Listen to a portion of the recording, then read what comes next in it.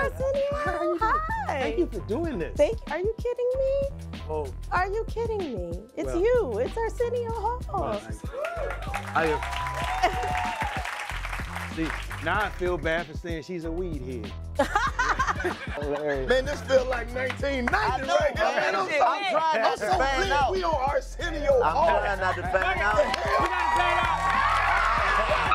This is a very sensitive area, but I want them to know. Um, when I met you, you did tell me that. Yeah. And uh, since then, we've lost mom. Yeah, yeah. But she she loved your show. She loved your show. Like watched it religiously and was a huge fan. This interview ain't nothing about us, man. We would have came here just to talk to you. But like I said, when I was on your show, you gave me the opportunity to learn how to speak in front of people. So thank you for that opportunity.